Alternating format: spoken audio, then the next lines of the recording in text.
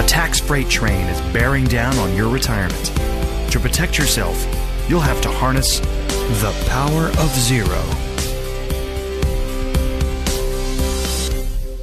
Hey, folks, welcome to the Power of Zero show. This is your host, best-selling author David McKnight. I'm the author of Power Zero, Look Before You LIRP, The Volatility Shield, and Tax-Free Income for Life, all of which can be bought in single copies at Amazon or wherever you buy fine books or in bulk discounts at davidmcknightbooks.com. If you're looking for someone to help you navigate all the pitfalls that stand between you and the 0% tax bracket, head on over to davidmcknight.com. We're happy to connect you with a member of our elite POZ advisor group trained, vetted, qualified personally by me. And if you are a financial advisor who wants to become a member of our elite POZ advisor group, you can head over to powerzero.com. We are happy to have a chat with you. Okay, today we are going to be uh, listening to the uh, second half of my wide ranging interview with Mark Byelich of Attleboro Financial. He is a member of our elite POZ advisor group. So if you want to get a feel for the quality of the advisors in our elite POZ advisor group, take a listen to what Mark has to say on some of these things. Uh, t- today, we're going to talk about when we think capital gains are going to go up, the value of permanent life insurance, the value of the LIRP, how to spend down your taxable bucket in the right way, and what are the different instruments you can use to do so. We're going to talk about the importance of mitigating long term care risks and what's the best way to go about doing that. We're going to talk about how quickly we believe tax rates will go up, and we're going to talk a little bit about a perfect storm that we believe is going to be arriving right at about 2030. We're going to talk about IRMAA considerations when doing Roth conversions. Uh, we're going to talk about which of all my books you should read first and in which order. And we're going to give you a preview of my new book, The Infinity Code, which will be coming out in the next couple months. So sit back, relax, enjoy the second half of my interview with Mark Byelich. I've got a question here. The person asks, is it better to sell a property that has gone up in value from 100,000 to 300,000 now or wait until when the tax rate is lower? So I'll take that one if you don't mind, Dave. It's going to depend on what your situation is. You know, there, first of all, I don't know when taxes are ever going to be lower. But unless your specific circumstance says, I make $400,000 in my job and I'm retiring next year and I'm going to have a lull in income and suddenly your income's going to drop to $25,000 a year. So that that's a very specialized thing. The other thing is when you're talking about selling a property, so I'm, I'm hearing real estate. Um, or some other kind of hard asset, you may have embedded losses or something like that in your tax history that you can use to offset those, or you may have a loss in another area. So that's a really good um, question that you can flesh out in financial planning session. I'm going to ask Gerard. Gerard's one of our financial experts who's often on our webinars. So uh, Gerard asked, how does means testing enter into the conversation regarding taxes and Social Security future benefits. You want to take that, Dave? Yeah, I mean, there's Social Security is not the big issue in my mind. It's Medicare. Medicare is five times more expensive, and that's really what's going to be driving most of the debt over time. If all Congress does is nothing, the national debt will, by definition, grow just because more and more Americans will move on to the roles of, you know, Social Security, and Medicare, but but Medicare is the big beast, right? Social Security is a relatively easy fix. You can move back the retirement age, the first year which you can withdraw benefits for young people like me and me and Mark. That's a relatively easy fix. Means testing could certainly enter into the equation like it does in other countries. So it's going to be probably a combination of means testing on younger folks like Mark and I, or moving the age at which you qualify for Social Security back until, say, age 72. I mean, if you look back at when you could draw Social Security back in 1935, when Social Security first rolled out, it was age 65, back when the average life expectancy was 62. Now the average life expectancy is 77 for you know men, 79 for women. And when can you draw Social Security? Well, it's age 62. And so they haven't really adjusted that in almost 100 years. And so I see that being a natural, you know, a natural evolution but it doesn't really, it's like rearranging deck chairs on the Titanic. It doesn't really solve the problem. They're going to have to figure out how to negotiate Medicare. That is the thing that increases by 6% per year uh, on average over time. And we got 10,000 baby boomers per day that move out of the workforce onto the roles of Social Security and ultimately Medicare. Medicare is such an expensive animal that it will be sort of controlling the destiny of our country. And so I worry less about what's going to happen to Social Security and more about how we're going to afford to pay for Medicare over time. Yeah, good answer, Dave. You're spot on there. All right, Diane asks I was told by my accountant that the amount you can put in a Roth IRA in 2022 and annually is going to be limited. Is this true? Well, Diane, it is limited. So, and it's also that's means tested as far as uh, how much you can contribute based on your earnings. So you can pull, if you, again, Diane, if you go to our website, attleborowealth.com and go into that slot corner and you can see exactly how much you can contribute to a Roth IRA. Now, if you're talking about conversions, and that's often confused, then there's no limit on conversions right now. There's discussion about that, but you can convert as little or as much as you'd like. I hope that answers your question. So I'm going to give you this uh, because this is from a client of mine of ours. So I'm sure he wants to hear from you because he's heard from me a lot, Dave. So any thoughts on where capital gains are heading? No doubt they will increase, but what is the general consensus out there? You know, it almost depends entirely on who's in office. If you have uh, Democrats that control the presidency, the House, and the Senate, they're almost certainly going to try to raise them. Republicans tend to feel like high capital gains taxes stymie the growth of the economy and so they're more reticent to, to make that type of a move, even in the face of spiraling, you know, the spiraling debt crisis. So uh, sadly, it has less to do with math and more to do with who's in office. It, it's looking like come midterms that Republicans are going to, there's going to be a sort of this red wave that rolls through the House and through Senate, which means that, that Biden's going to be sort of a lame duck for the last two years of his first term. Uh, and then we'll see what happens in 2024. So it's tough to say, but my wish that these things were more tied to the actual fiscal trajectory of our country and less tied to, you know, political majorities in the House and Senate. But that's the reality that we're facing. And the reason why we have $30 trillion of debt is because politicians are more concerned about getting reelected than they are about what the debt's going to be two years from now when they're not even sure if they're going to be in office at that point. So, but if you look purely at the math of it all, capital gains taxes were going to have to rise precipitously, or uh, along with individual income tax rates, or we're going to go broke as a country. Yeah, and I know you talk about that a lot in your in all your books, Dave. And look before you LIRP talks a lot about the vehicle that people can use to invest in that avoid capital gains tax because that's a runaway freight train as well. You know, when I was brought up in working at UBS and Wachovia, which became Wells Fargo, I was taught that whole life and permanent insurance was bad, right? Vest it, uh, or buy term, and invest the rest. You know, another awakening I had was learning from Ed, learning from you about really the value of permanent insurance and using that that tax-free nature of life insurance for those vehicles. So I'm not here trying to sell anybody on life insurance, but you take away that risk, right? That tax rate, that increased tax rate risk by using a vehicle like that. And you know, you say it all the time, David, in your book and everywhere else. There's only two things that are truly tax-free, and that's Roth IRA and the the life insurance. You know, I call them cash value life insurance. You call them life insurance retirement plans, but you know, someone asked about the Roth IRA and we can, and will that ever go away? And we know that there are limits we on what we can contribute to our Roth IRAs or 401ks. There are uh, no limits on conversions right now, so we move a lot of IRA money, and we talk about how to stack it up in our marginal tax rates and kind of you know have a strategic plan to move that over.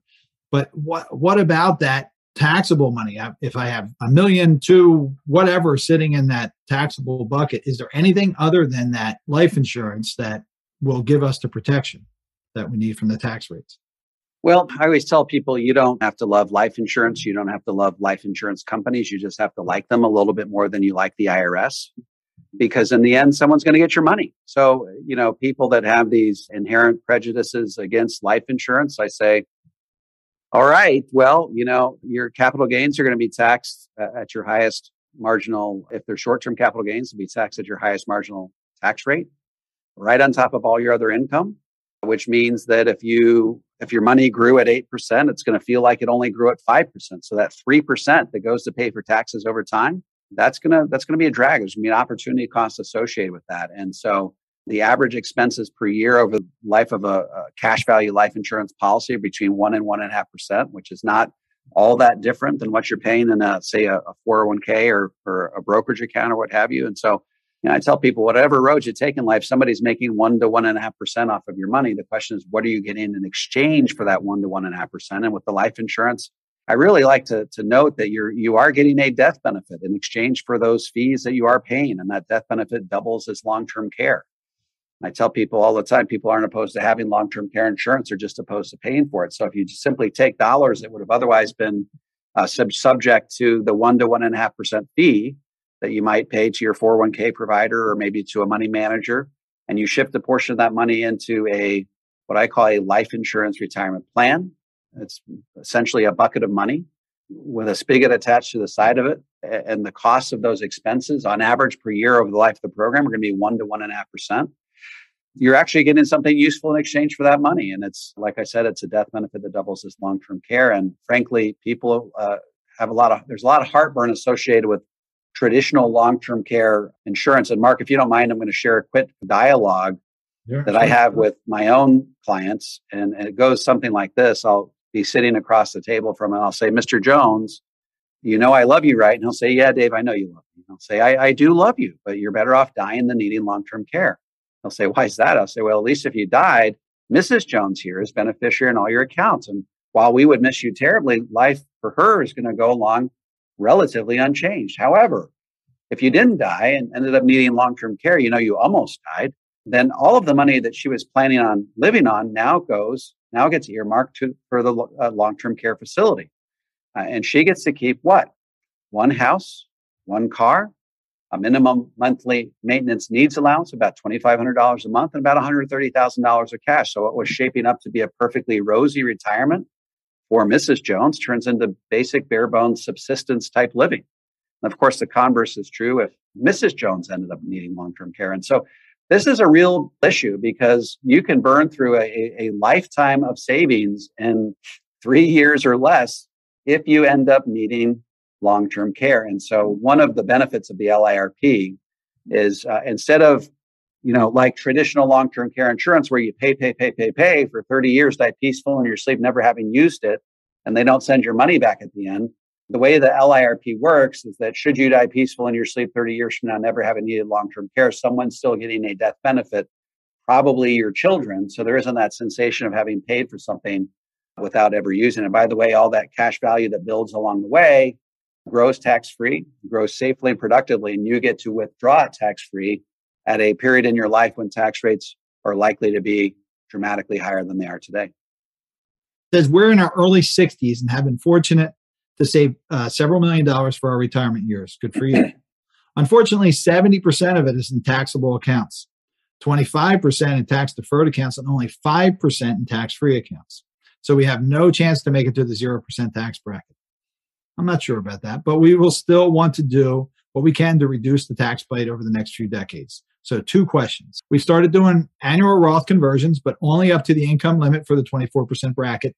Expecting that taxes will increase in 2026, should we move more into Roth IRAs over the next four years, even though we'd be paying taxes at 32%, or stick with moving the most we can up to the 24% bracket limit. So why don't we stop there and you can answer that. And we we did talk about this. Yeah, yeah. We talked a little bit about this already. I'm a fan of Uh, extending that Roth, Roth conversion period beyond 2026. I, I tend to think that in the medium term, that tax rates are going to stay relatively stable. Of course, I'm, I'm looking into my crystal ball. Everybody's crystal ball looks a little bit different.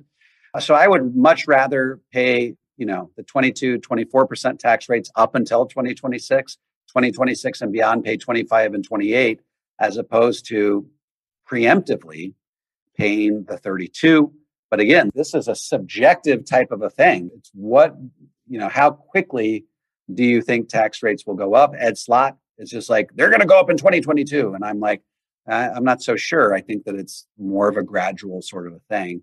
And so that's that I would be more inclined to stretch that obligation out over a longer period of time. I would say definitely get it done before 2030 because there's hmm. going to be something, there's going to be a perfect storm that hits our country in 2030 you definitely want to get all your heavy lifting done before 2030 because there's going to be some crazy stuff coming down in 2030 between demographics and debt and unfunded obligations. It's all going to hit in 2030. You want to get your house in order before then.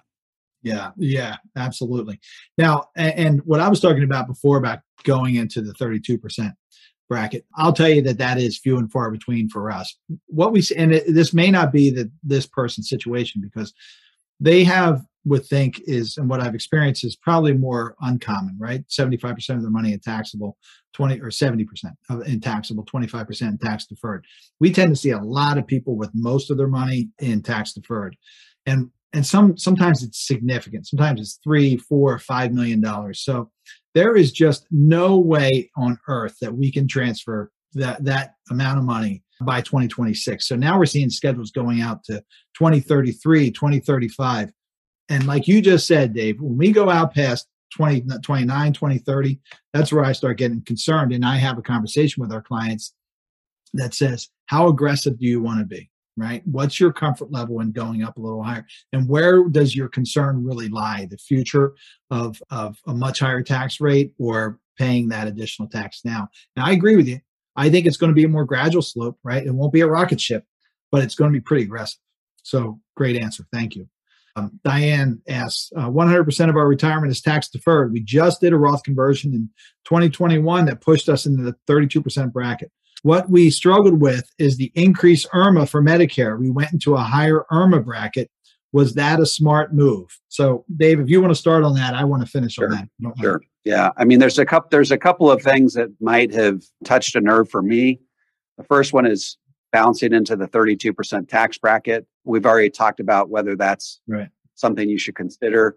The second thing that, that people do wince over is just that IRMAA. And remember, there's an increase in IRMAA for the husband and there's an increase in IRMAA for the spouse, and that can really add up. But it's sort of a trade off. You have to say, okay, I am paying my IRMAA, an increased IRMA in the short term to spare my IRAs and my Social Security from higher taxation over the long term. Remember, if you leave your money in your IRAs, any required minimum distributions are going to count as provisional income and dramatically increase the likelihood that you pay Social Security taxation in perpetuity. So, if you can get to the 0% tax bracket in retirement by shifting most of your assets to tax free, you put yourself in a position where not only will you not pay IRMAA anymore, but you won't pay Social Security tax anymore, and you will shield yourself from the impact of tax rate risk down the road. So, yeah, it hurts a little bit in the short term, but there's a triple benefit in the long term no Social Security tax, no IRMAA, and shielding yourself from higher tax rates down the road. Yeah, it, you know, you're right, Dave, and just IRMAA alone. So, all those other things count 100%. But we've done this. We have a spreadsheet we use comparison because what happens, Diane, is you keep if you keep your money in into the, your traditional IRAs, you're going to be triggering that IRMAA anyway, and it's going to it, it's just going to grow and grow and grow.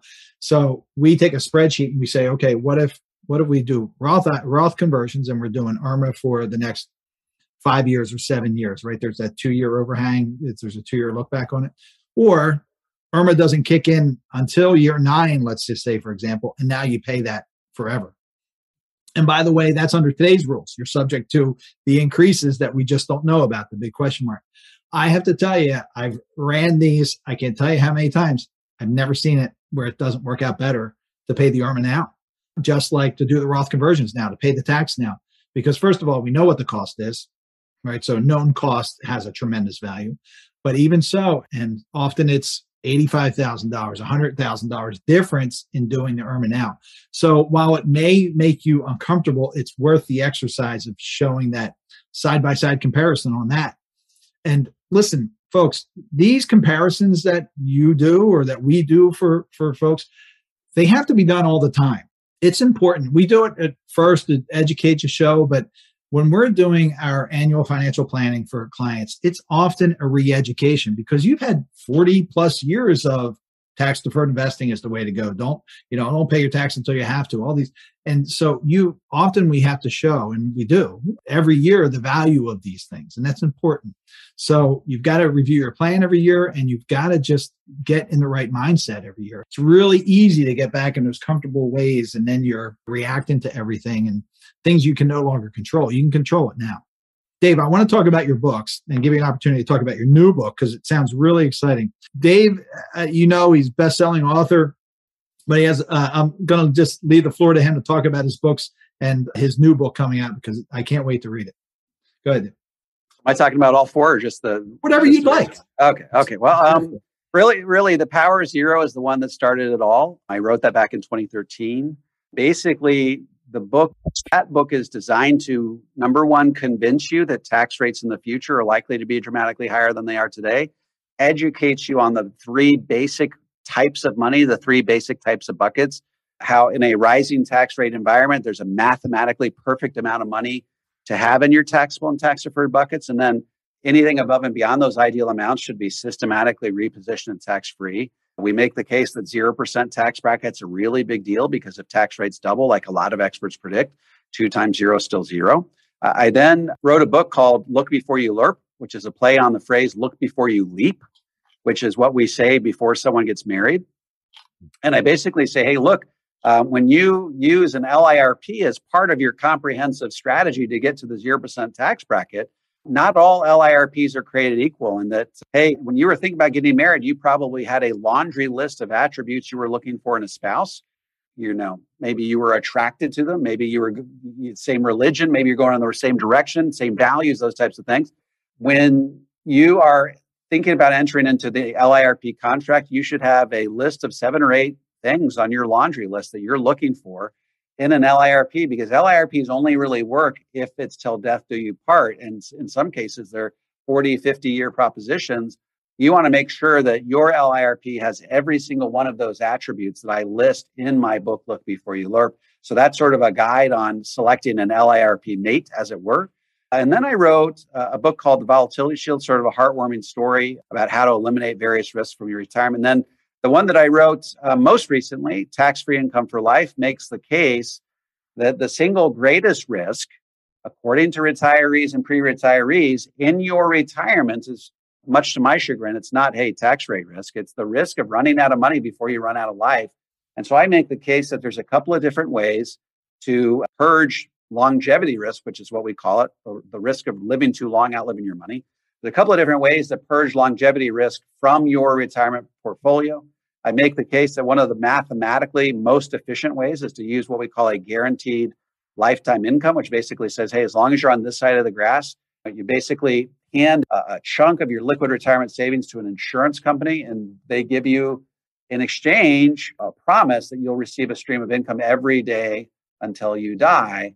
The problem is, historically, most advisors situate those those annuities within the tax deferred bucket, which exposes them to two risks, expose them to tax rate risk and the risk of social security taxation. I make the case that there are certain types of annuities that have what's called a piecemeal internal Roth conversion, which allows you to do a, a Roth conversion on that annuity so that by the time that Roth conversion is complete, you can pull money out of that annuity 100% tax free and it, it, it, dramatically increases the likelihood that you'll get your social security tax free uh, as long as you're alive as well. So that's how you can eliminate tax rate risk and longevity risk within the very same financial plan. It sort of rounds out the entire power of zero uh, worldview. And then i got a new book uh, coming out in the next couple months. It's called the infinity code. It's a 75000 word novel. It's got some financial undertones. I it's about a shadowy cabal of Harvard graduates, graduated in 1985, who are planning to sort of institute a, a new world order in the United States by radically redefining the US monetary system. And I talk about a Harvard sophomore who unwittingly becomes aware of their plot and has to, in a race against the clock, has to foil their plan before before their plan, you know, goes past the point of no return. So it's a really exciting Dan Brown sort of suspense thriller with a very important monetary theme that is incredibly relevant and it's almost ripped right from the headlines, incredibly relevant to our, you know, our current plight. And so that'll come out in the next couple months and hopefully be a good change of pace from the, you know, the business books that I typically write. That's exciting. Will that be published by the time we see you in April? The, your new book, do you think? Yeah, see, this is the interesting part. I have to convince my literary agent that I'm good at writing novels, not just at writing business books. So I'm in the process of trying to convince him to shop it around to some of, you know, Penguin Random House type publishers. If not, I might have to find a smaller publisher. That may take a little bit of time, but it's just sorting that part out that'll take some time. So no no promises, but certainly if it is done by then, we'll we'll have some copies on hand. Okay, folks, that is the second half of my interview with Mark Byelich. If you're looking for help navigating all of these pitfalls that stand between you and the 0% tax bracket, head over to davidmcknight.com and we will connect you with a member of our elite POZ advisor group, just like Mark, trained, vetted, qualified personally by me. If you are a financial advisor, uh, you can head over to powerzero.com and opt into the three part video series. We'll be happy to have a chat with you. Would love a follow on Twitter. It's at McKnight & Co, at McKnight & Co, or Instagram, David C. McKnight. And again, you can buy any of my books in bulk at davidmcknightbooks.com. Thank you, folks, for listening in, and we will look forward to chatting with you same time next week.